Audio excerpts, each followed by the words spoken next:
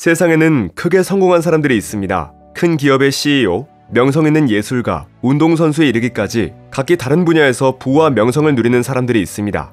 그런데 놀라운 것은 그들도 대다수가 열등감을 갖고 있다는 사실입니다. 아니, 저렇게 잘 나가는 사람들이 열등감이라고? 믿어지지 않지만 사실입니다. 그러나 이들은 그 열등감에 집착하거나 무너지지 않고 자신을 바꾸는 도약의 발판으로 삼은 사람들입니다. 성공한 사람들은 열등감을 도약의 발판으로 삼지만 평범한 사람들은 열등감으로 인해 평생 시기와 질투, 그리고 두려움, 자포자기, 우울증에서 벗어나지 못하게 됩니다. 그리고 열등감을 파헤쳐서 감정이나 행동에 강한 부정적 영향을 줍니다. 그것은 마음속 구멍과 같아서 해집으면 해집을수록 점점 더 커지게 됩니다.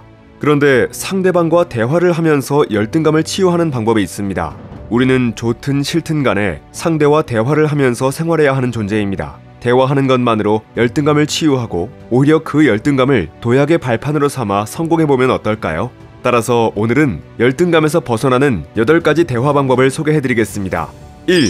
확대 해석하거나 왜곡하지 마라. 열등 콤플렉스에 빠져 있으면 자신의 프레임으로 상대방의 말을 해석하게 됩니다. 어떤 좋은 말을 들어도 프레임 자체가 왜곡되어 있으므로 상대방의 말에 마음의 상처를 입게 됩니다.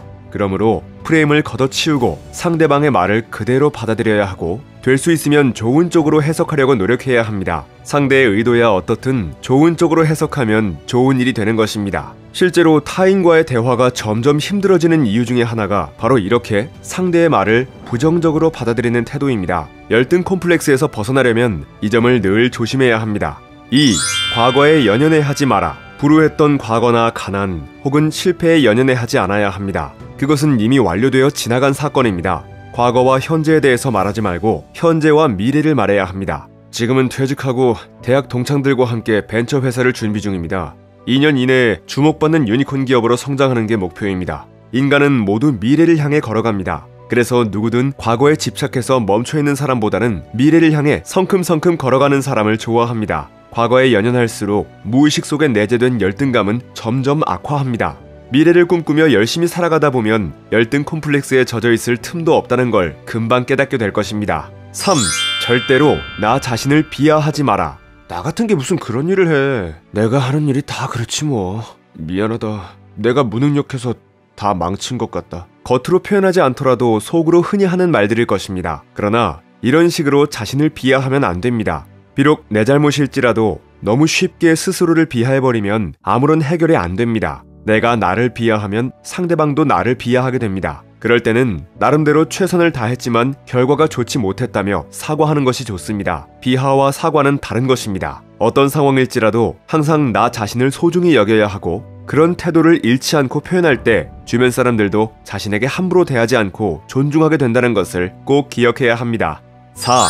타인과 비교하지 마라. 친구는 승승장구하는데 내 인생은 도대체 왜 이럴까? 김대리님에 비하면 난 형편없어. 자신을 비하하지 말라는 말과 비슷한데 남들과의 비교에서 좀 더 명확히 나타나는 기분, 표현에 특히 주의해야 합니다. 타인과 비교한다고 해서 자신에게 이로운 점은 하나도 없습니다. 그들은 그들의 인생이고 나는 내 인생을 살아가고 있다고 생각해야 합니다. 타인의 인생을 부러워할 시간이나 에너지가 있으면 내 인생을 충실하게 사는데 사용하자는 것입니다. 5.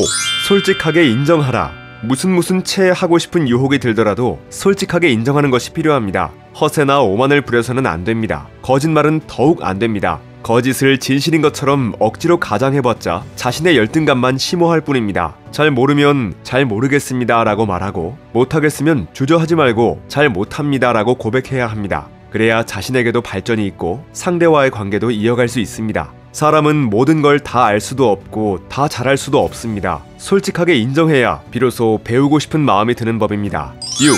먼저 자신감을 내비쳐라.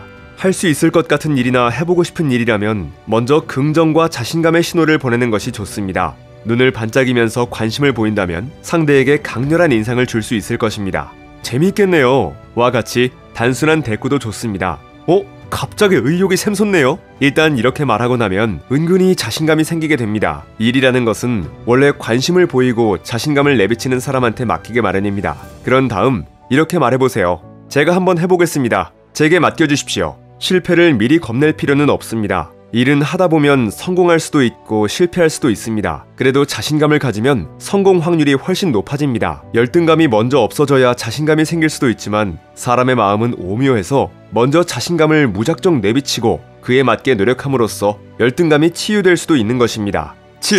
칭찬은 감사히 받아들여라. 열등 콤플렉스가 심한 사람은 상대방으로부터 칭찬을 받으면 얼굴까지 붉히며 어쩔 줄 몰라 하는 경우가 많습니다. 그러면서 자신감 없는 모습을 보입니다. 아유, 그런 말씀 마세요. 제가 뭐 잘한 게 있다고요. 이런 말은 겸손과 다릅니다. 이렇게 대놓고 부정해버리면 갑자기 분위기도 이상해지고 칭찬한 사람이 오히려 머쓱해지게 됩니다. 칭찬은 대인관계에서 선물 같은 것입니다. 일단 감사하게 받고 다음에 기회가 될 때 되돌려주면 됩니다. 칭찬을 받았을 때는 반드시 이렇게 대답하도록 습관화 해보세요. 좋은 말씀을 해주셔서 감사합니다. 덕분에 기분이 좋습니다. 8. 상대의 말에 경청하고 호응하라. 경청하고 호응해주는 것이 어떻게 나의 열등감을 없애는데 도움이 될 수 있을까요? 얼핏 이해되지 않을 수도 있습니다. 그러나 사람들과 소통할 때 어쩌면 가장 중요하다고 할 수 있는 것이 바로 경청입니다. 경청은 타인의 마음을 얻는 가장 훌륭한 대화술입니다. 자신의 마음을 호소력 있게 전하기 위한 출발점이기도 하죠. 그래서 어떻게 됐어요? 그래요. 기분이 좋았겠네요. 지위가 높든 낮든 간에 자신의 이야기에 마음을 열고 진지하게 귀를 기울여주는 사람에게는 누구든 마음의 빚을 지게 되고 같이 시간을 보내며 소통하려는 생각이 커지게 됩니다. 따라서 내가 상대방의 말에 경청하고 적극적으로 호응해주면 상대도 나에게 적극적으로 소통하고 존중해주는 마음이 커지게 됩니다. 이러한 원리에 의해서 나의 열등감이 없어질 수 있는 것입니다. 오늘은 타인의 시선에 지나치게 신경을 쓰며 항상 긴장하고 소극적으로 살다가 삶이 점점 힘들어지고 우울증에 빠질 수 있는 열등 콤플렉스에 대해 알아보고 그것을 극복하는 방법을 8가지로 나누어 설명해 드렸습니다. 자신의 부족함을 드러내고 정면 돌파하거나 자신감을 잃지 않고 매일 한 걸음씩 나아가겠다는 마음을 먹어야 합니다. 자신의 실력과 현재 수준을 인정하고 마음을 긍정적으로 유지함으로써 열등감을 성공의 무기로 만들 수 있습니다. 열등 콤플렉스에 빠지면 세상살이가 재미없고 우울증으로 삶의 의욕이 뚝 떨어집니다. 혼자 지내는 일이 많고 마음이 병들어가는 것도 스스로 눈치채지 못하게 됩니다. 여러분들도 누구에게나 조금씩은 있는 마음속 깊은 곳의 부정적 소리보다는 긍정과 기쁨, 그리고 사랑과 희망의 씨앗에 주목해 보시기 바랍니다. 그리고 긍정의 마인드로 물을 주며 인생의 꽃이 피어나도록 해보시기 바랍니다. 여러분은 결국 해내실 수 있습니다. 책갈피였습니다. 당신의 성공과 행복을 응원합니다.